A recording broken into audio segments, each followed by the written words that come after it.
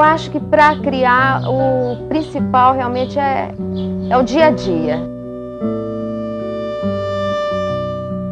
Realmente é um momento de mais concentração, de mais introspecção.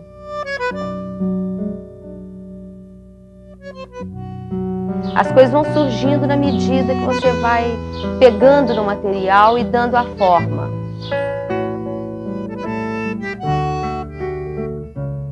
Eu acho que eu elegi a cerâmica como sendo a minha grande aliada no meu trabalho. Mesmo às vezes não usando só cerâmica, eu acabo usando em outros materiais.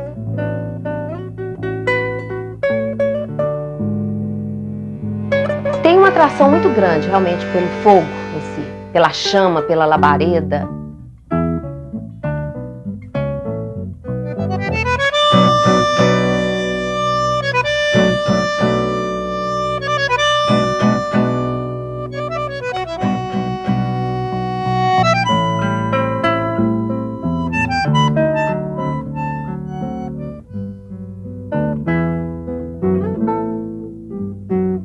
O fogo tem essa capacidade de transformar.